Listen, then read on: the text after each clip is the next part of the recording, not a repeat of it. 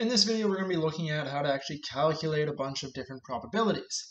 So we're going to be taking a look at really a few different things. We're going to start off taking a look at our addition rule. So that's when we have a union between two events. And you're like, whoa, union between two events, what, what does that mean? Well, that just means we have two events. We want to know, hey, what's the probability that we witness either event A or event B? What we're then going to move on to is taking a look at our rules of multiplication. And the multiplication rule is going to be taking a look at our intersection between points. And again, that sounds all fancy, intersection between events. What we're looking at there is, hey, what is the probability that we witness event A and also witness event B? So we'll be taking a look at those two things. We'll then carry on taking a look at a few other kind of tools with probability. We'll look at how to compute probability from a uh, tree diagram from contingency tables, and we'll also have a brief little foray into taking a little look at Bayes' theorem as well. That's our plan for calculating probabilities. Let's uh, move on and start off taking a look at our rules of addition, and that is our union between two events. Let's take a look at that. So in thinking of a union between two events, what we want to think about is our entire space here. So let's just draw a little box. And what we're going to let this box represent is all possible outcomes. Right, so here we go. We're going to have all of our outcomes. This is everything that could possibly happen. Say we're rolling a bunch of dice. This would be all of the possible space that could be accounted for in the results of rolling the dice picking cards from a deck of cards, etc., etc., etc. Well, let's say that we have one that we're interested in, which is taking up this area, this space, right? And we'll call this event A, right? So event A takes up this area out of our total outcomes. And what we're looking for is, well, probability of event A. And we've taken a look at how we can do this with our classical probabilities or our empirical probabilities, depending on the case. And okay, it wasn't so bad. But what if we also had event B? Right, so okay, we also have event B here, and maybe both of these guys are of interest to us, and that is we want to know, okay, we have event A, we have event B, but we want to figure out, hey, what is the probability that I have event A union event B?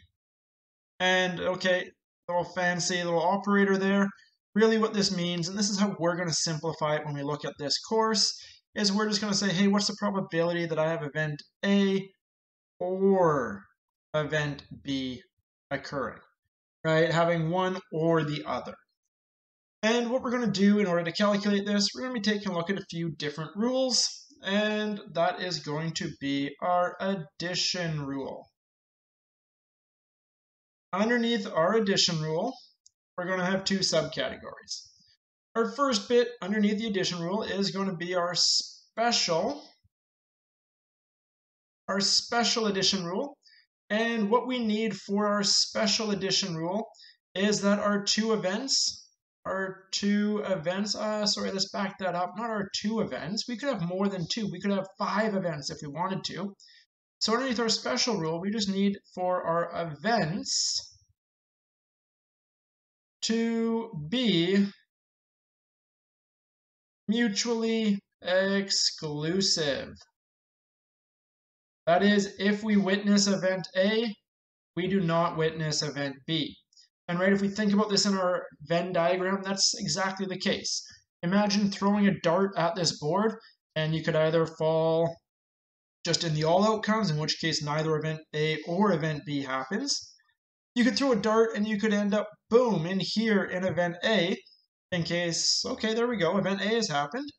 And you could throw a dart and you could have it wound, wind up in event B. And there we go, event B happened, woo, we have that as a success. But what you can't have happen is you cannot throw a single dart and have it land in both A and B.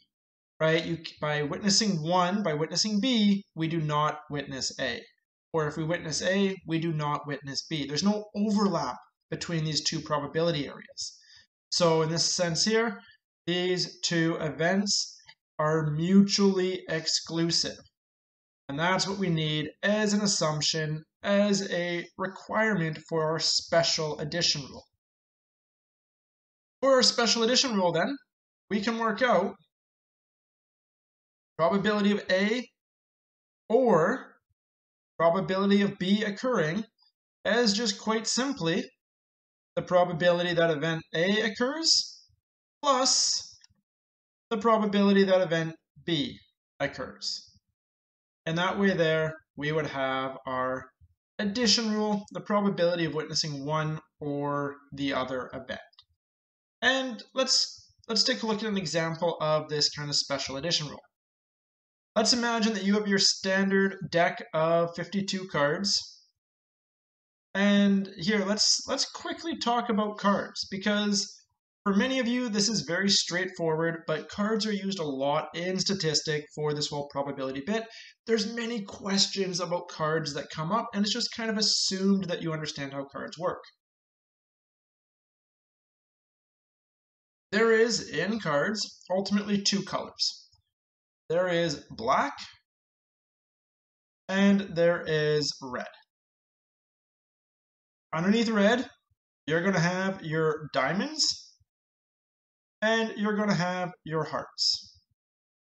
Underneath the black, you're going to have your clubs, which is something like that, and you're going to have your spades. So we have four suites altogether, four suits, I mean, sorry, not suites, four suits. Half the suits are black, half the suits are red. In each of these suits, then, we will then have our cards, which will go, depending if ace is high or ace is low, doesn't really matter in our case, but we'll go ace, two, three, four, five, six, seven, eight, nine, ten, jack, queen, and king. And then the same thing will be repeated for our clubs, for our hearts, and for our diamonds. So that is altogether, we're going to have four aces, one for each suit. We're going to have four sevens, one for each suit. Very similarly, you would have two black sevens, and very similarly, you would have two red sevens. Right? So little bit of a, a little bit of a layout about a deck of cards, just so that if you weren't necessarily familiar with this, you're not completely lost when these card style questions come up. Okay, all of that, little aside, let's go take a look at a question. You have a standard deck of 52 cards. You are going to pull out, what are we going to say? You're going to pull out a card at random. And this one card that you pull out, you want to know, hey, what is the probability that that card you've pulled out is either a jack or a king. Right? So one card being pulled out, what's the likelihood that it's either a jack or a king? Right? If we think about this back up with our Venn diagram, we have all the possible cards that could be pulled out. This is our four possible jacks. This is our four possible kings. We couldn't accidentally pick a jack king, right? There's there's no such card. So it's either you pick out some other random card, maybe a two, or you pick a jack, or you pick a king. So let's go back and work this out. They are mutually exclusive, right? By pulling out a jack, you don't get a king, so we can use our special addition rule, which is just simply going to be probability of getting a jack plus the probability of getting a king. In this case here, what's our probability of getting a jack? Well, we have 52 cards altogether. I'm going to have Jack, Jack, Jack, and Jack, right? There's going to be four Jacks there. So probability of getting a Jack is 4 out of 52. Right, 4 out of 52, that's going to be the same thing as, what, 1 out of 13? And then same thing, probability of getting a king. Well, king, king, king, king. So again, 4 out of 52.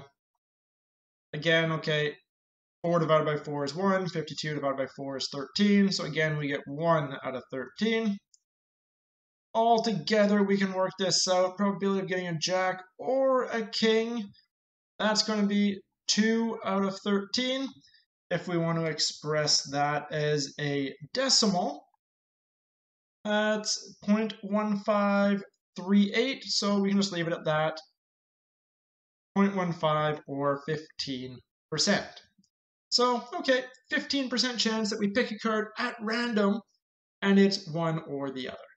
So, that's our special rule in action, finding out probability of event A or event B.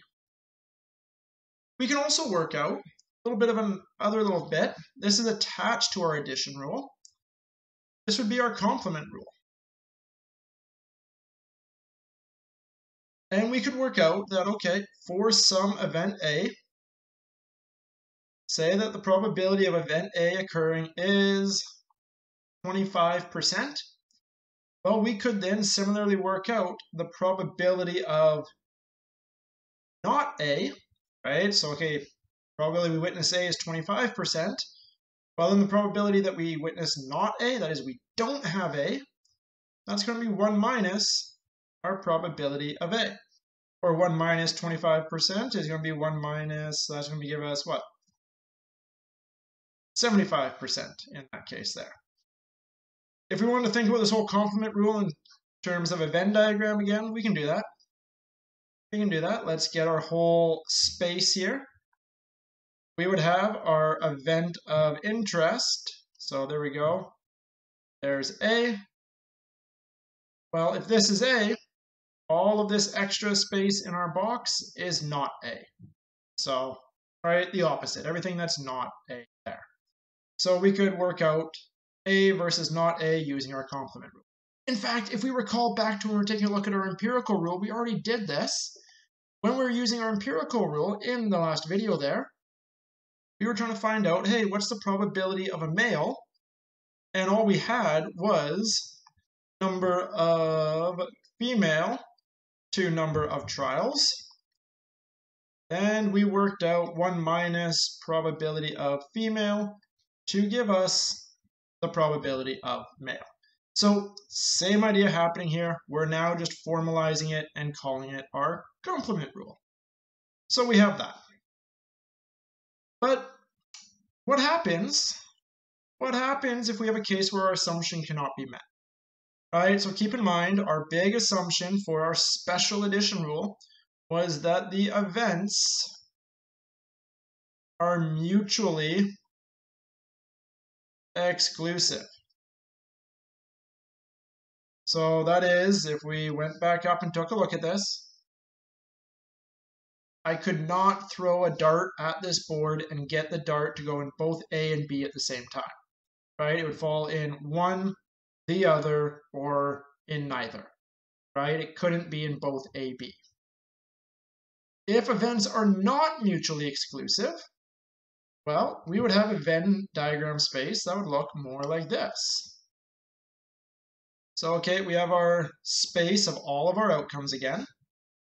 So here's all of our outcomes. And then we're going to have event space A as such. And we're going to have event space B as such. And we notice that we have this overlap between the two. That is, now events A and B are not mutually exclusive. I could throw a dart, and okay, maybe sometimes I would just hit event A. Maybe sometimes I would just hit event B, right, over in this blue shaded area. Sometimes I might hit way out over here somewhere and get neither, but every now and then I'm going to get right here where we have overlap, where we have both A and B occurring at the same time. This is problematic, right? We no longer have this mutual exclusivity going on. So this is where, when we no longer have this, ooh, events are mutually exclusive, this was our assumption. Assumption for our special. If this assumption does not hold, we need to use our general addition rule. And what our general addition rule is, is it saying, okay, same idea. Let's say we want to know, hey, what's our probability of witnessing event A or event B? So event A or event B, right? Again, sometimes you may see this written as a union. Would be the probability that A happens plus the probability that B happens. We would then have to subtract off the point where these two overlap or where they intersect each other. So we'd have to subtract off the point where we have probability of A and B. Or if we want to use our correct notation, okay, A probability of B, it would be saying we would subtract off that intersection point. So where A intersects B, we would subtract off. So here, U union, this little, almost like an N, this is our intersection that green bit there where A and B intersect each other. We would have to subtract that because otherwise we would count it when we counted A, we would count it again when we counted B, and we'd actually double count this green area. So in order to prevent us from double counting it, we have to subtract it off. So let's look at an example where we can work through this. Again, let's go and take a look at where we're pulling out cards from a deck of cards. So 52 cards in a deck. In this case, I want to know, hey, what is the probability that I pull out a jack or a hearts? So, okay, what's what's going on here? Jack or hearts, are these two events mutually exclusive? Well, let's go back up and we can take a look at all of our possible cards. Okay, what do we have? Well, we have a jack here.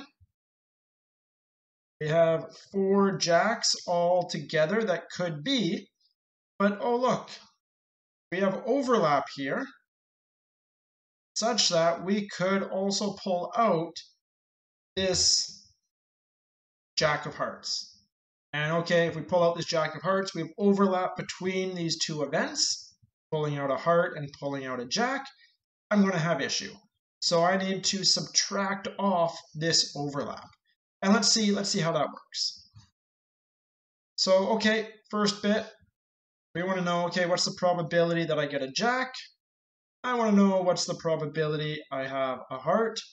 And then I need to subtract off that overlap, so subtract off the probability that I have a jack and a heart. That is a jack of hearts, right? So working that through, Probability of a jack, well, there's 4 out of 52 occurring there. That's 1 out of 13.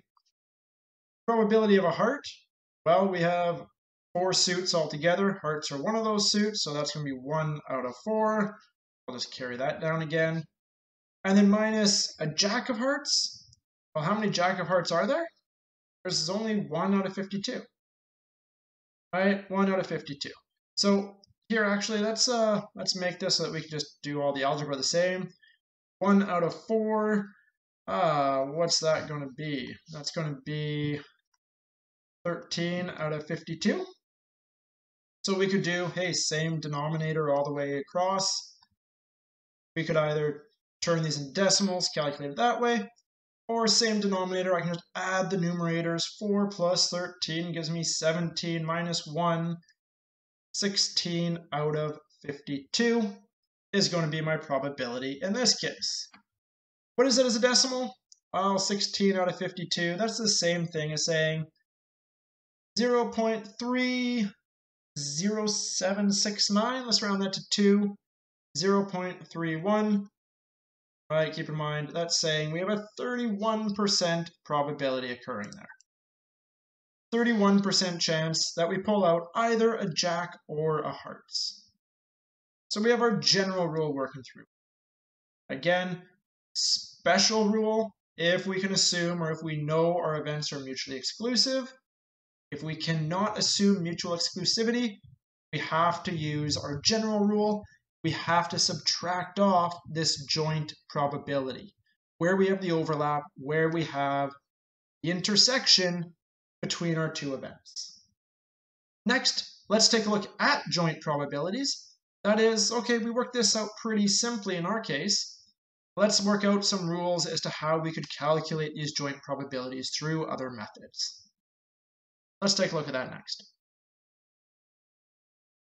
Okay, so for joint probabilities, what we are looking for is we are looking for the probability that both events occur. That is, we're looking for the likelihood of witnessing event A and event B together. We don't just want to witness one, we want to have the probability that we witness both at the same time. So keep in mind, okay, if we're witnessing both at the same time, they cannot be mutually exclusive, right? That's like saying, hey, what's the probability that I witness a heads and a tails on a coin flip? Well, you can't witness a heads and a tails on a single coin flip. You're going to witness a heads or a tails, but not both. So can't have mutually exclusive events going on here. Well, you could, but you're going to get a probability of zero. These joint probabilities, this is the intersection between those two probability spaces in our Venn diagram. So this is the point where A intersects B, where we have overlap. Right, and again, if we want to think about these Venn diagrams, what do we have going on here? we have, boom, so we have all of our outcome space. We're going to have event A. We're going to have event B.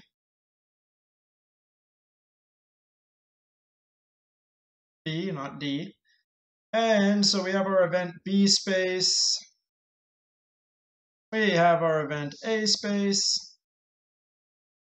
And then that overlap part there where both of these guys intersect, I'll do this in green just to really highlight that this is the difference point.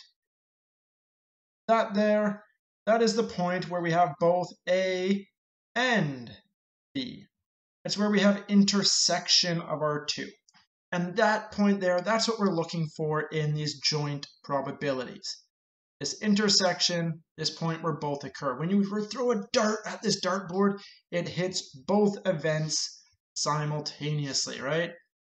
Boom, we land right in the middle there. So, okay, in working out our joint probabilities, we are again going to be having, well, for our just probabilities A or B, our union of events, we had a special and a general addition rule. For our joint probabilities, we will again have a special and a general,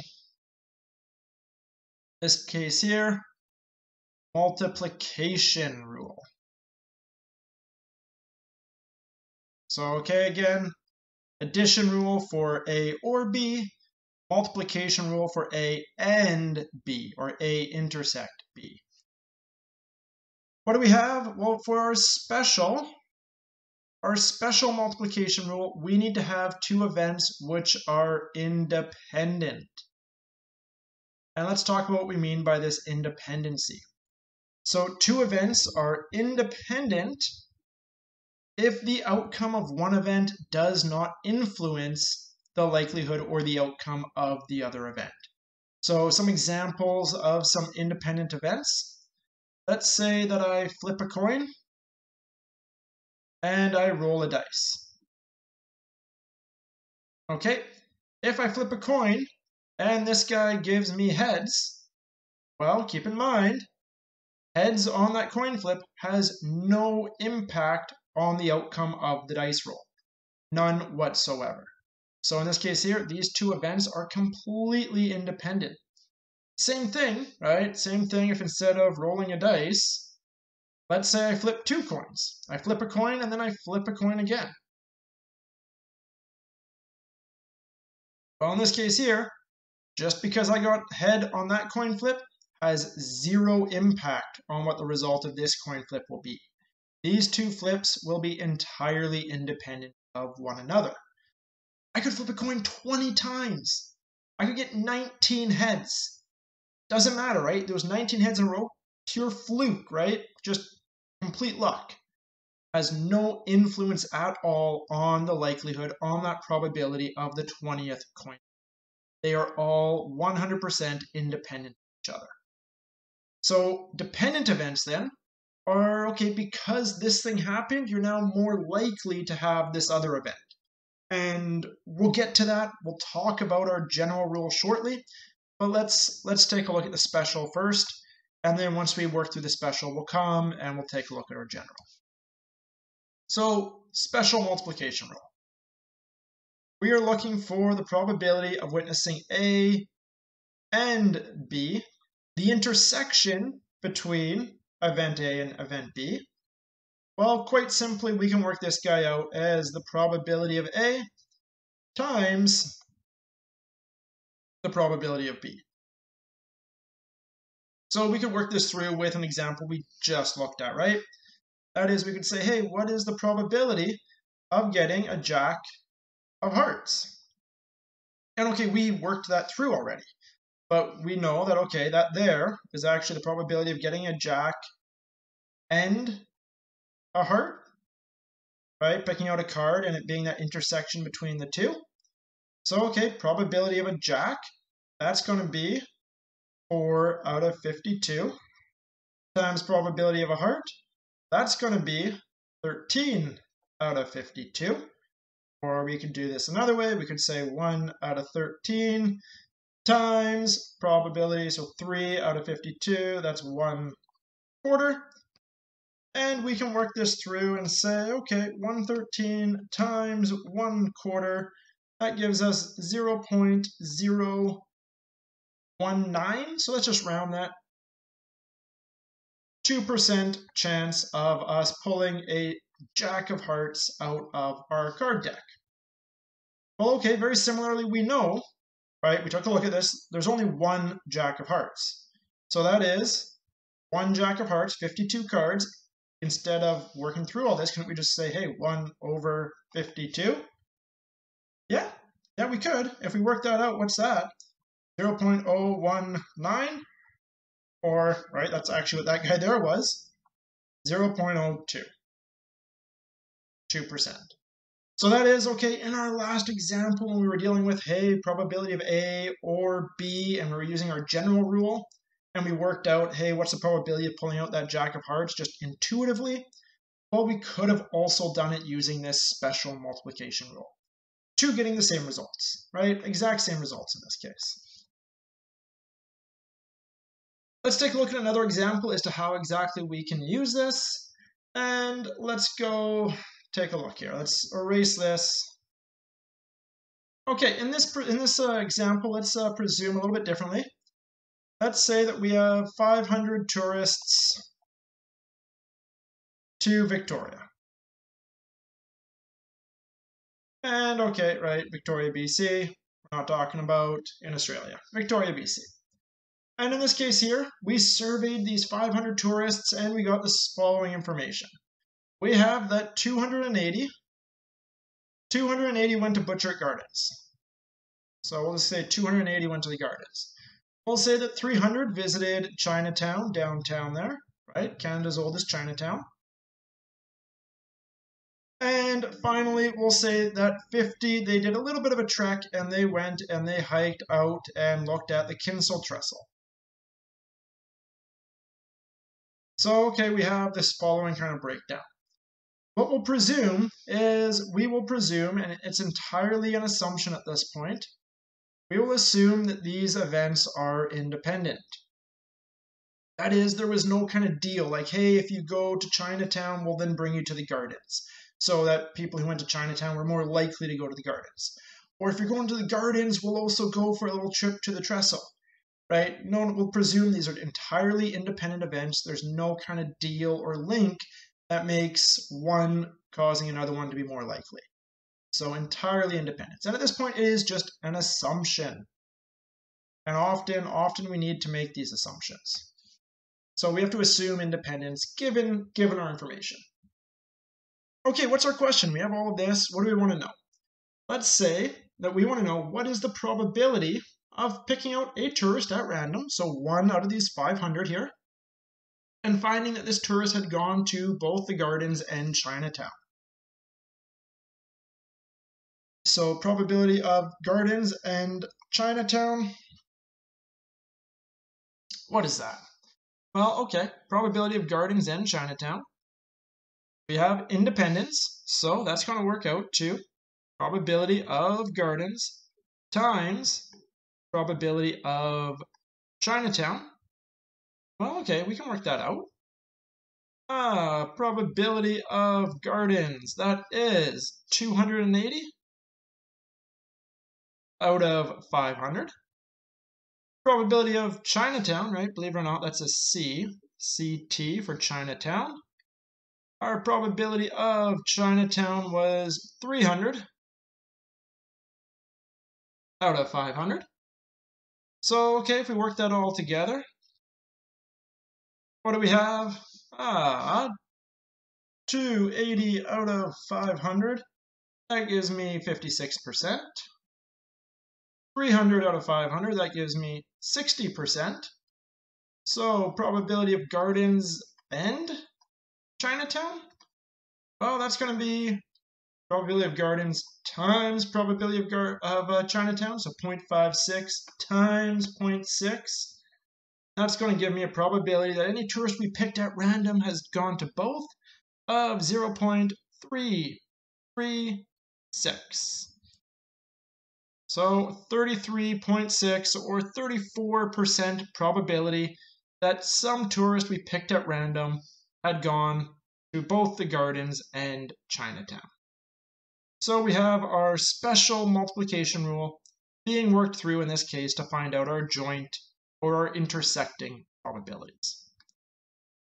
Quick follow-up example, or not example, I guess question for you. What kind of probability are we using here? Are we using classical or empirical? And then same, same kind of follow-up question up here, oh, no, I erased it. Our previous example where we were dealing with cards, right? So our cards, cards, what did we have? Again, empirical or classical. Okay, well, in this case here, we ran 500 experiments, 500 trials, and what we're looking at is the proportion of event success to the total number of trials. That is, we are appealing to this law of large numbers. We're assuming 500 is enough. This is an empirical probability that we have discussed. These are empirical. When we were talking about cards, we didn't have to run trials. We didn't have to do the trick 500 times and figure out how many successes we had. We just went based off of our assumption that all outcomes were equally as likely, and because all outcomes were equally as likely, our card example prior was using our classical probabilities.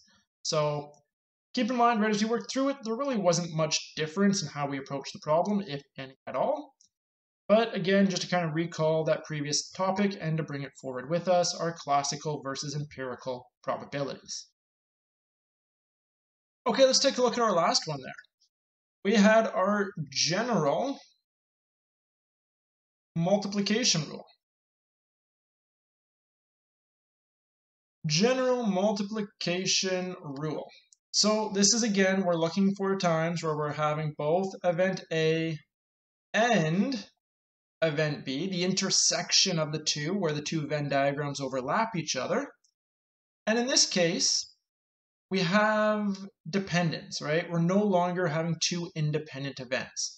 That is, if A happens,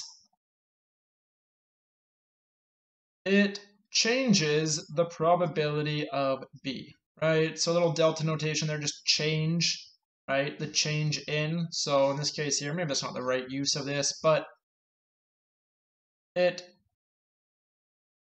changes the probability of B. And then we can write that the other way too. That if B happens,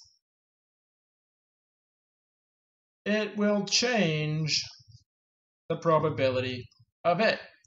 So, okay, we need to work through then how this is going to affect itself, how this is going to affect each other, and work out our probability of witnessing both A and B given this influence we have.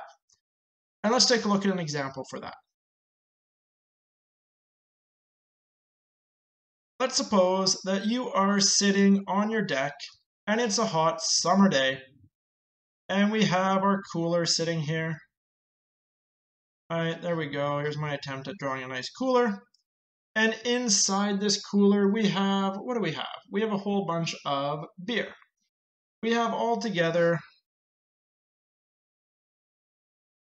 nine beer and we'll say that of these nine beer, we're going to have five, which are Blue Buck, right? So good old local Phillips Brewery here in town. Five of them are going to be their Blue Buck brand, and four of them will be their Slipstream.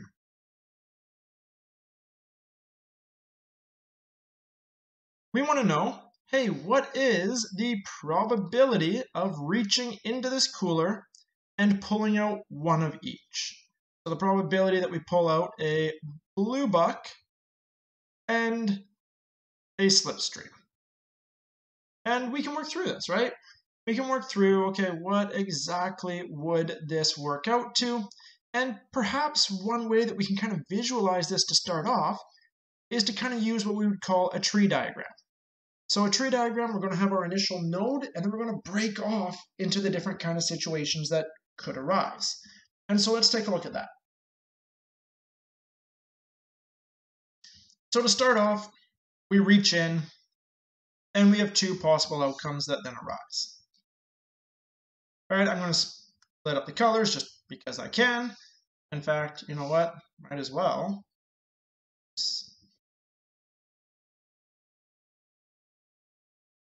There we go. So over here, I have my blue buck, and on the right, I have my slipstream, such that my probability that I reached in and grabbed a slipstream is, well, there's four, four slipstreams in nine beers, so four out of nine. Versus on the other side, picking a blue buck, that is the probability that I picked a blue buck is going to be 5 out of 9.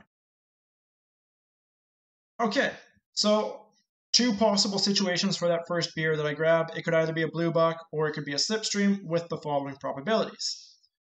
Going forward, I then have again my second beer could either be a blue buck again or it could be a slipstream. On this case, it could be a blue buck or it could be a slipstream. All right, and again, so slip, stream, slip, stream, and then blue is, oh, that's not a B. Let's try that again. Blue buck and blue buck. So, okay, I have my continuation here. In this case, okay, next step down, keep in mind, one beer is now gone. Right, I've now taken it out of the cooler. So instead of nine beer in the cooler, I now only have eight. If I've already picked a slipstream out, well, instead of there being four slipstream out of nine beers, boom, down here. Oh, no, let's change colors. Let's pick it. Let's stay this the same. This is going to be the probability of pulling a slipstream given that I already have pulled a slipstream. This guy is going to be, well, okay, 4 out of 9 for the first guy. So I've already pulled one out. So now I only have 3 left. I already pulled one out. So I only have 8 left. So, okay, probability of my slipstream was initially 4 out of 9. I already have one. Only 3 left in the cooler. I already took a generic beer out. So now there's only eight left altogether. Very similarly from the blue buck side, probability that I got a blue buck, given that I've already pulled out a slipstream, right? So already have a slipstream. what's my likelihood of getting a blue buck? Well, I've only pulled out a slipstream, so there's still five blue buck remaining, but there's only eight beer remaining altogether. So, okay, probability of a blue buck, given that I have a slipstream, 5 out of 8. Over to the other side, we can do the same kind of idea. Probability of a blue buck, 5 out of 9. Probability of another blue buck, well, okay, I already had one, so there's only 4 left. And already pulled out one, so 4 out of 8. What is that? That is the probability that I've pulled out a blue buck, given that I've already pulled out a blue buck. Another extreme right here. Well, this guy here. Probability that I get a slipstream given that I already have a blue buck. So, all right, already had a blue buck. What's the likelihood that I get a slipstream in this case? Well, okay, how many slipstreams are there? None pulled out, so still four out of eight beer altogether left over because one of them was already pulled out here. So if we're trying to follow this through, our two scenarios that we're interested in, in this case is first of all, that I get a blue buck, and then because I have a blue buck, I have a slipstream. Alternatively, I get a slipstream, and then I get a blue buck. So that is two possible scenarios. I have probability that I get a blue buck and then, right, so multiplication rule times probability that I get a slipstream. But what we have to keep in mind is that, okay, probability that I pulled out a slipstream was conditional on the fact that I already had a blue buck. So given that I've already had a blue buck, right? So that's going to be my probability that I have a blue buck and a slipstream working out in that way. But okay, keep in mind that this was only one of the possible situations. I could have pulled out a slipstream first and then wound up down this path. So I could have this scenario or this scenario. So I would also want to consider the opposite case, right? So that it was or probability of a slipstream times the probability that I pulled out a blue buck given that I've already had a slipstream. And so if I work these guys out, what does that give me? Well, probability of a blue buck, that there was 5 out of 9. Times my conditional probability here. So probability I'm pulling out a slipstream given the blue buck, that's going to be 4 out of 8. What do I have here? First one, probability of a slipstream, 4 out of 9. And then probability of a blue buck given a slipstream, that's that guy there. That's 5 out of 8. If we work out these guys here, well, what do we have? We have 5 over 9 times 4 over 8. We get a 27.777 right? Sorry, 0.27777. So if we want to round that to two decimal places, we'll say we have a 28%. Oh, I can make that look nicer than that. We have a 28% of that guy. And if we work out this one, we will, surprise, get the same result of 28. Meaning that altogether, what's the probability we witness this or this, right? The two possible cases. I'll add those both together and we'll get 0.28, 0.56. If you take the full values, it's 0.555555. So again, we'll round to 0.56. That is, okay, to finish all of this off, what is the probability of reaching in and pulling out one of each? Pulling in reaching in and pulling out one of each is a 56% chance of this happening. Now, you have a cool party trick. You can go to a party, you can be like, oh, there's nine beers in here, there's two types, there's five of one, four of the other. There's a just over a 50 50 chance that I can reach in and pull out one of each. you can amaze your friends with math. And they'll be like, wow, that guy's really cool. We're going to invite him to more parties. So there you go. You're welcome. Helping you with that where I can. Uh, one other thing that we can kind of take a look at if we go back up to this back up to this tree diagram, let's just make some room. Let's just drag all of this stuff down. What we can do is we can work out, as we go through this, all of our probabilities. So, right, we just worked out this case here of, hey, what is the probability of a blue buck and a slipstream? Right, we had this at 0.2777. Probability of a slipstream and a blue buck, we had this guy at 0.2777. We could very similarly go, hey, what's the probability of a slipstream and a slipstream? So that'd be 4 over 9 times 3 over 8. That works out to be 0.1667. And then same idea over here. What's the probability I get a blue buck and a blue buck?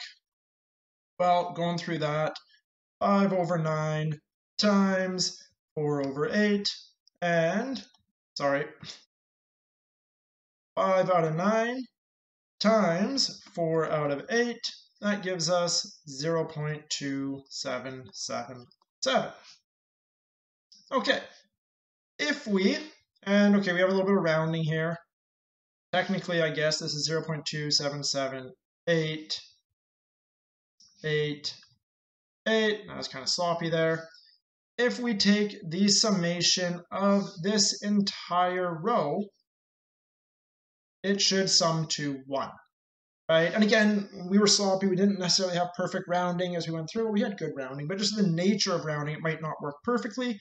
But let's add it up. 0.2778 plus 0.2778 plus 0.2778 plus 0.1667. What do we get? We get this summing to 1.0001. So there we go yeah, rounding is what gave us this extra little one here. But essentially what this is saying is, hey, the probability of reaching into this cooler and getting a blue buck and a blue buck, or a blue buck and a slipstream, or a slipstream, right?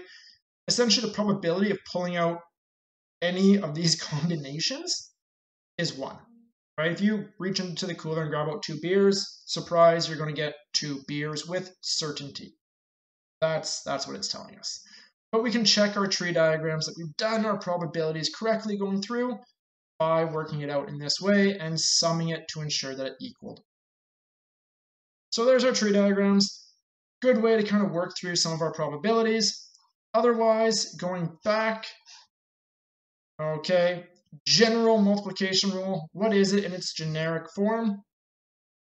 We just kind of jump straight into the example our general multiplication rule, if we want to think about it in its general form, probability of A and B is going to equal the probability of A times the probability of B given A. Now keep in mind, it doesn't matter if it's A and B or if it's B and A. So very similarly, right, we could write it this way, probability of B and A is the probability of B times the probability of A given B. So we can work it out either way in that case there. And that's really what we've done with these two middle flow throughs. We then just added those two together and got our, what was it, 50 something percent? 56 percent. Right, that was our summation of those two. So there we go. That is our probability rules. We had our addition rules for finding out, hey, probability of A or B. And we had our special if events were mutually exclusive. And we had our general for when they weren't. We then moved over to our multiplication rule. That was for looking for the intersection between two events, probability of event A and event B. And again, we had our special and our general special we could use if the events were independent, the outcome of one did not influence the other, and then our general if the events were not independent, that is, the outcome of one event influenced the outcome of another. What we're going to be taking a look at next, uh, this next bit is not in our textbook that we are utilizing this semester. The next bit is known as Bayes' theorem. We will take a look at a few examples of this. Don't get too caught up on it. It is more of an abstract theorem to many first year stat students. Uh, it's not going to be a big part of the course. I don't even think there's any D2L questions on it. It's just kind of a here you go, this exists. If you go on to higher levels, it may turn out to be important to you. So just so you kind of have this in your back pocket as, oh, okay, I've experienced it. Let's take a look at Bayes' theorem next. So in this section, what we're going to briefly take a look at is this concept of Bayes' theorem. A big thing that we're looking at in Bayes' theorem is our conditional probabilities. And what Bayes' theorem yields is, okay, we have the probability of A given that event B has already happened, right? So this is our conditional probability. B has happened. What's the likelihood of A occurring then? And we're going to set this equal to our probability of B given that A has happened times the probability of A all over our probability of B. Okay, and if we kind of keep in mind as to where this comes from, we saw in our previous case that we worked out, hey, probability of blue buck and slipstream is equal to the probability of slipstream and blue buck, right? Just written the other way given that these are, of course, are not independent events, we wrote this as probability of blue buck times probability of slipstream given blue buck. And then we could say that that was equal to probability of slipstream times the probability of blue buck given slipstream. And okay, what? Wait, why? Why are we doing this? Well, okay, if we think about this as just A and B, that's B and A. Well, okay, we could do that's just probability of A times probability of B given A. All of that's going to be equal to probability of B times the probability of A given B. Right, all I've done, anytime I had blue buck, I replaced it with A. Anytime I had slipstream, I replaced it with B, just so we could match our generic kind of expression here. And then, simple algebra, right, algebraic voodoo, divide probability of B onto both sides. And what do I have? I have my probability of A times my probability of B given A all over my probability of B, that's going to equal my probability of A given that B's already occurred. That guy there, same as what we have here as our Bayes theorem. So, okay, cool. How is this helpful? What exactly does this do for us?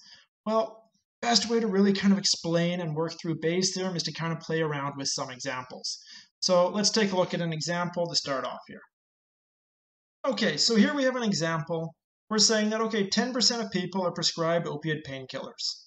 So, okay, we let's just let's just write that down, right? So probability that I get, I'm just gonna write this as pills, right? Probability that I get pills is 10%. And okay, these are opiate painkiller pills, but same idea. Then I can say, okay, what's next? 5% of people are addicted to opiate painkillers. So, okay, that's probability of, I'm just going to write addict. Probability of being addicted to opiates is 5%. Okay, carrying on, what do we have? 16% of addicts have a prescription for opiates. So, okay, keep in mind, 10% are prescribed opiates, this here is 16% of addicts have a prescription. So, okay, that case there, 16% uh, of addicts. So that's going to be my probability of having a prescription.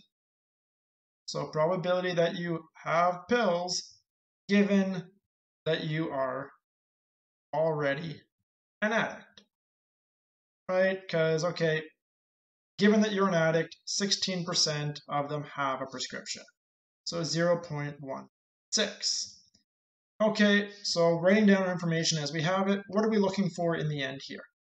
What is the probability that an individual will become addicted to opiates given they have a prescription for opiate painkillers? So, okay, what am I looking for?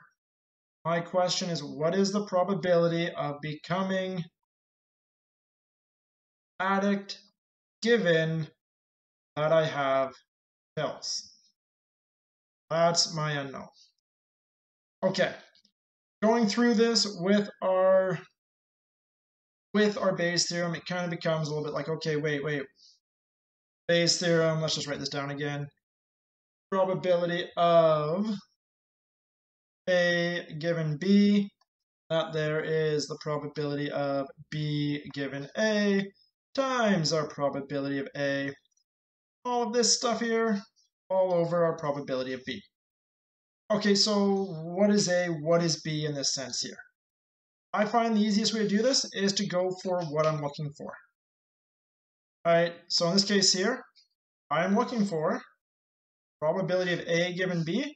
So A is that somebody is an addict, and B is that they have been prescribed pills.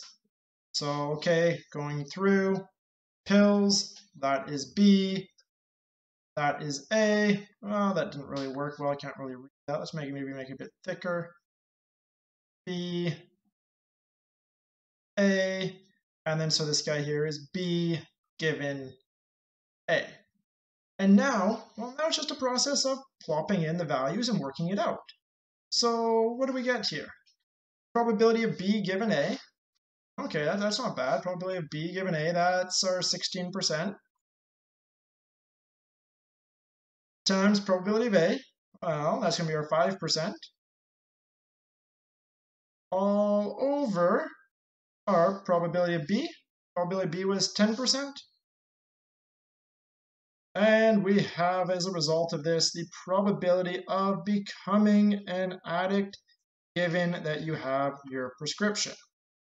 And what does that work out to? So if we have 16% times 5%, all of that divided by 10%, we work out that there is an 8% chance.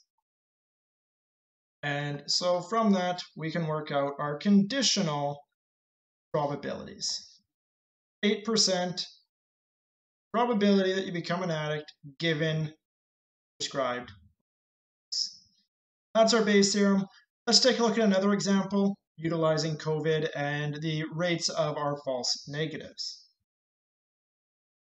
So taking a look at another example with Bayes' theorem, let's just again write down Bayes' theorem just so we can take a look at it again and know what we're looking for.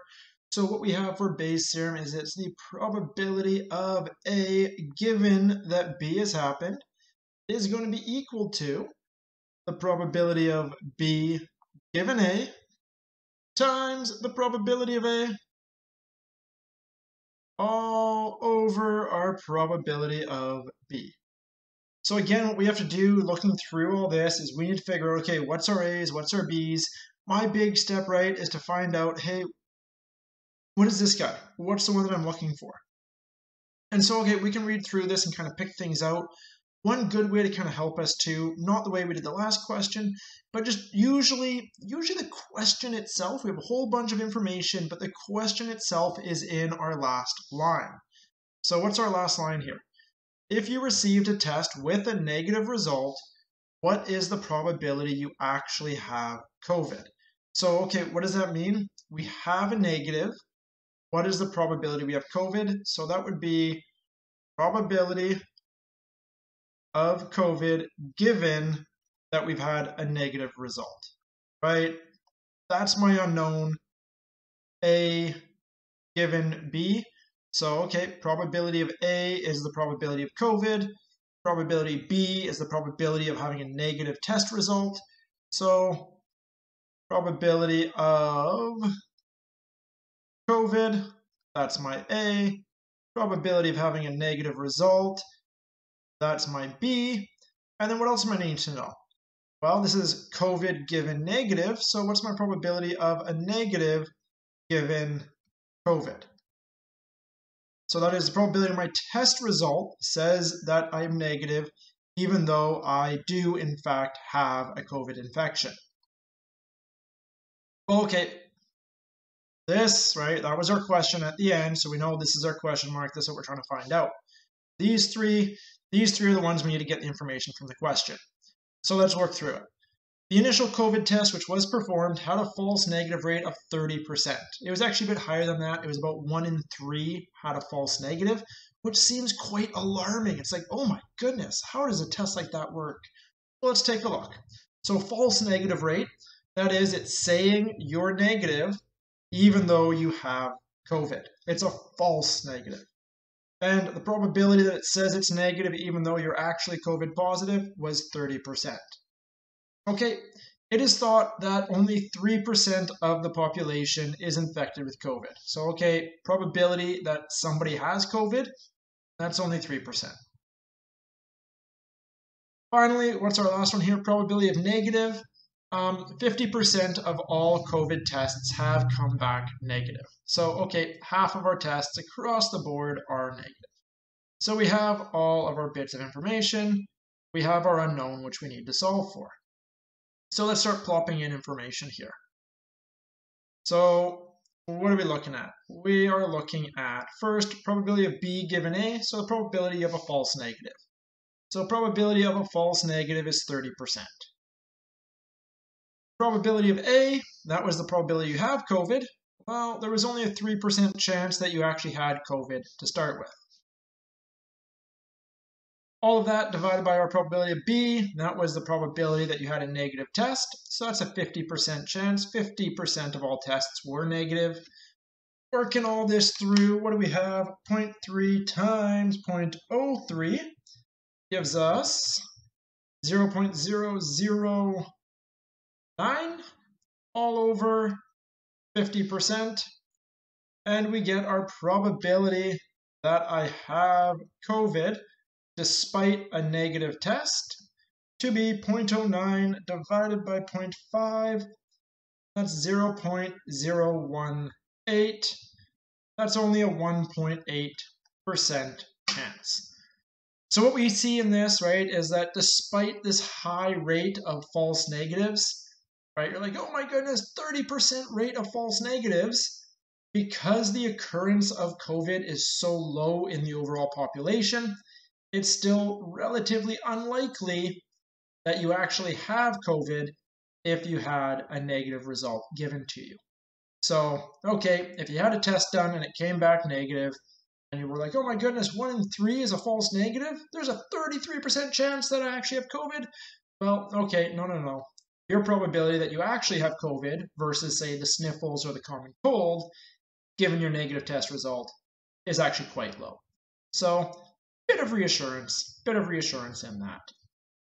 Hope that helps a little bit to explain Bayes' theorem. Again, don't get too caught up on this. It's not a massive part going forward. In fact, it's very unlikely to show up on any D2L quizzes or on any exam going forward. What we'll finish off with is taking a look at contingency tables. Contingency tables are a nice way to kind of roll together our um, joint and uh, all of our probabilities we've been looking at so far. So probability of A and B versus probability of A or B. Bringing it all together, it's a good way to either pull probabilities from a table or by building tables, it's a good way to identify the probabilities that we are interested in. So we'll take a look at that guy next. What we're going to look at here is the concept of a contingency table and how we can use these contingency tables to help us determine probabilities. So here we have a layout just showing, hey, maybe we had some kind of career mixer held downtown, um, career fair kind of idea. In this case here, we surveyed 100 students and we found out that, hey, a bunch of them were from UVic, a bunch of them were from Camosun, and then here we have it split up between business majors and arts majors. Keep in mind, it doesn't need to be a two by two. I could have a three by two, right? I could add in to this. I could have another kind of another column being added in here and all of that glory. Or similarly, I could add in another row and have some other variable being put in. But that being said, here we're just going to be dealing with our 2 by 2 so let's just leave it as such. What we can do with this is we can quite readily we can quite readily determine out a whole bunch of probabilities, right? We can determine, hey, what's the probability that I randomly pick a student from UVic? What's the likelihood that I randomly pick a student from Camosun? What's the probability that I randomly pick a student who is in business? Who is in arts? Right, and then I can start getting more complicated. I can say, hey, what's the likelihood that I pick a student? So probability that I pick a UVic student, so that they are UVic and they study arts.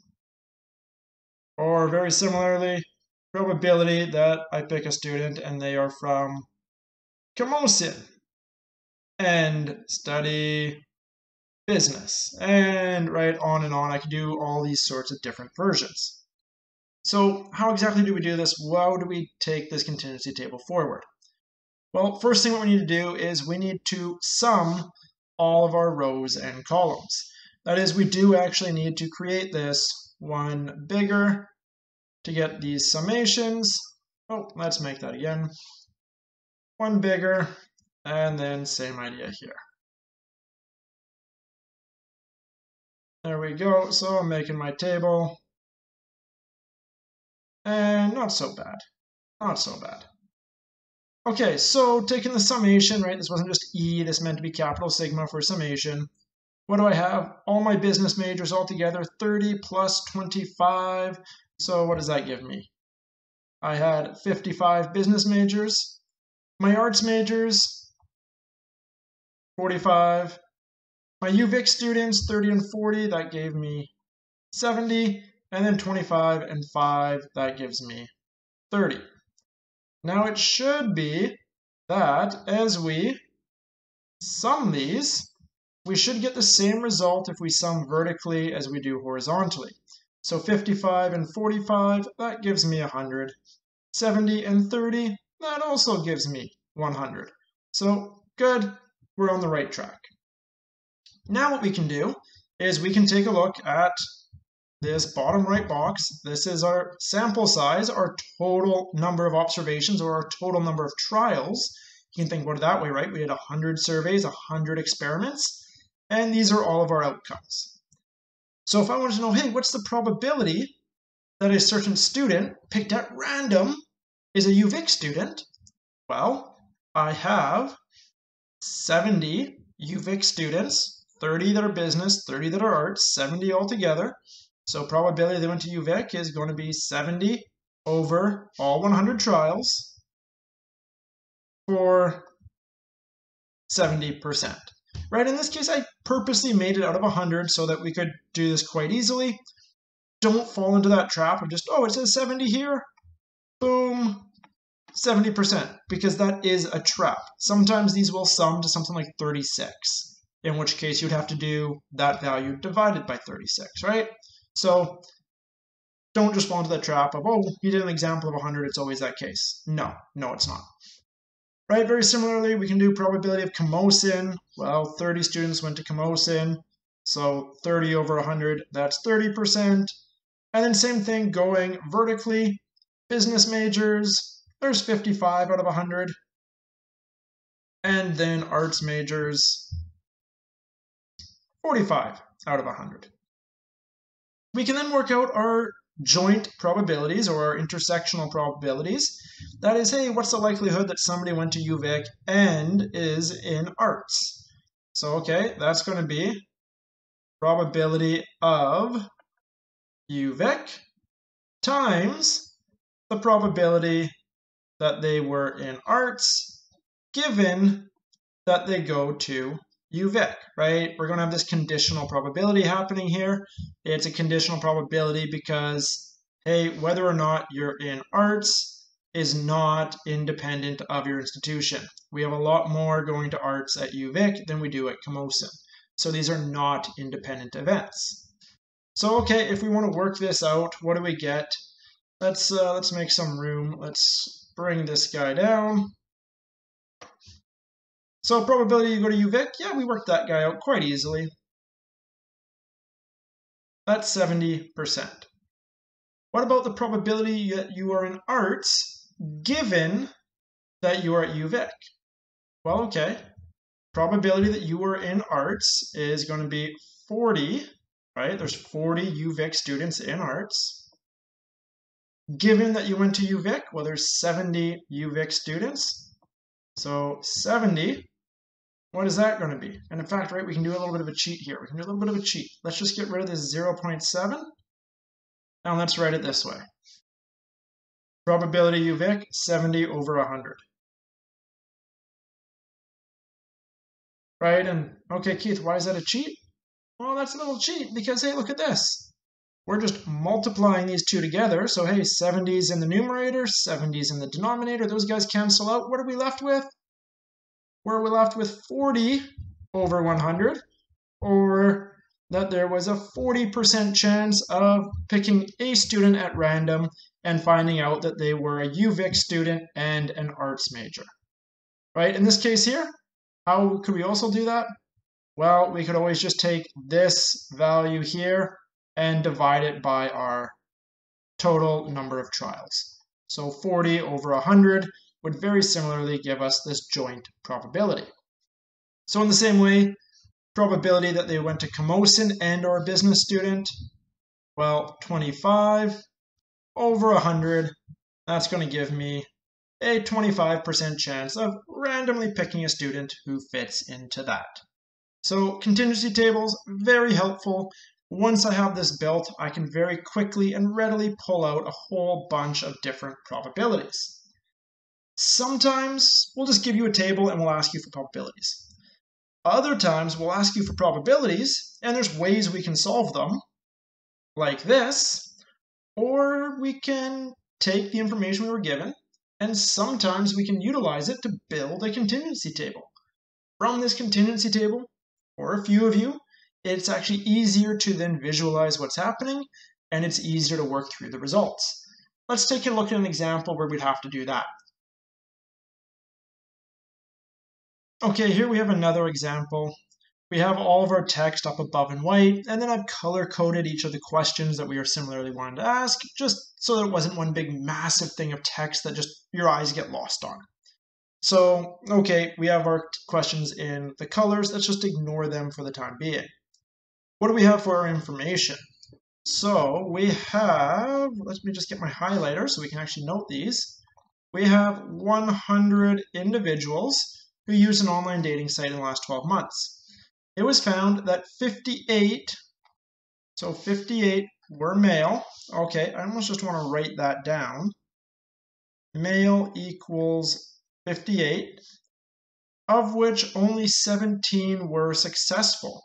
So, okay, successful given male was only 17. Um, what do we have? Or I guess maybe that's maybe that's not the best way to put it. Successful end male was 17. That's the way we want to think about it. There we go. Compared to the 20 females that were similarly successful. So successful and female was successful and female was 20. Okay. Based on the above information, we have a bunch of questions.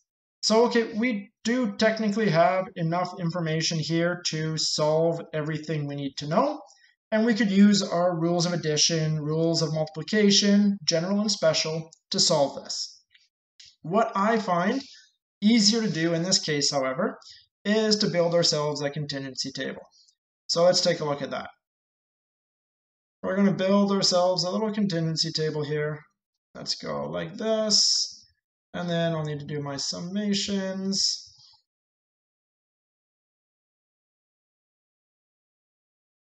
And not the prettiest looking thing, but it'll work. It'll work. So, okay, I have two variables going on. I have my sex, male or female. So let's write that. male, female, and then I have whether or not they were successful. So right now I'm only listing successful, but of course we would have successful, and I'm just going to write not successful. And then I would have my summations going on. What I know is that altogether I have 100. So 100, day, uh, 100 surveyed altogether. What else do I know?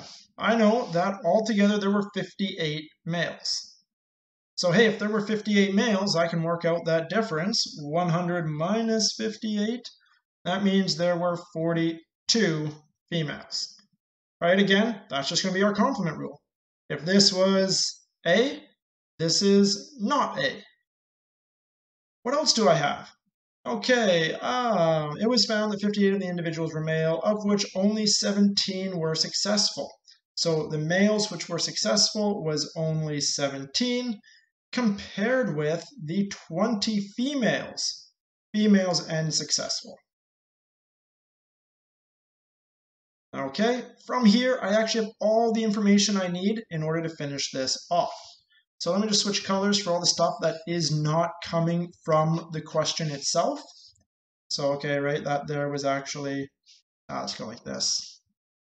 This did not come from the question itself.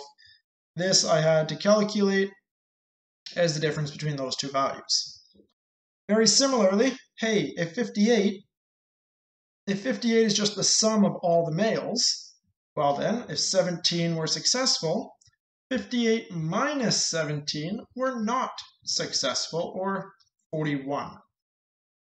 Similarly, if I had 20 females, oh, look at that, I put that in the wrong case. This was female and successful. We can fix that. Female and successful was 20, right? Successful and female, successful and female. So we can update that 20, some number equals 42. That is 22 in that case there. Finally, altogether, how many do we have successful? 20 plus 17 is 37. And then 22 plus 41, that there is 63. Okay, if I've done this right, a little bit of a moment of truth. 37 plus 63 will give me 100, and 58 plus 42 will give me 100. If these do not add up to be what they should be, or the same number, you've made a mistake, right? You've done something wrong somewhere. So it's always a good check. Okay, from here, what are we trying to find out? First question What is the probability of randomly selecting an individual being a female who was unsuccessful? So, okay, what is that? We are looking for probability of female and not successful. So, okay, we could work that out as probability female times probability of not successful given female could work that out that way. Or, right, remember how our contingency table works. We could say, okay, probability of female and not successful, that's going to be 22 divided by 100. So 22 over 100 gives us 22%. Gives us 22% as our probability. What about the next one there? Next one, what is the probability of a randomly selected individual being a male? Well, that one's actually pretty easy to figure out. Randomly selected individual being a male, well, picking at random from our 100, 58 are male, so probability of male equals 58, right? In fact, that was just right there. 58% or 0.58, right? Not actually 58. That would be wrong. 58% or 0.58. What's our last one here? What is the probability of a randomly selected individual being either male or unsuccessful? Okay, so now we have this or showing up, right? This is not that intersect, this is now that union. So what are we looking at here? We want to know probability that they are male or unsuccessful. I'm just going to go U for unsuccessful. Actually, what did I use last time? Let's keep the same. I used N for not successful. There we go. So probability of male or not successful. Keeping in mind, are these mutually exclusive events? If I were to throw a dart on the dartboard, could I be both a male and not successful? Male, not successful. Yeah, yeah, I can. So that is, I have to use my general rule, which will be probability of being a male plus probability of being not successful minus the joint probability of being a male and not successful. So, okay, how do we work that guy out? Well, probability of being a male, we just work that guy out. 0.58. Probability of being not successful, not successful, 0.63, 63 over 100. And then minus our overlap here, probability of being a male and not successful, 0.41. So working that guy out, what do we get? Probability of being a male or being not successful will give us 0.58 plus 0.63 minus 0.41. We get a 80% chance of picking someone at random who falls into that category if for some reason that was of interest to us. So that does us for contingency tables. That does us to wrap off our uh, chapter, our topic on probability. If you have any follow-up questions on this, if you have any issues with it, please feel free to post to the D2L frequently asked questions. Feel free to shoot me an email or to drop in during our office hours, and hopefully we can get this all sorted out. Until next time.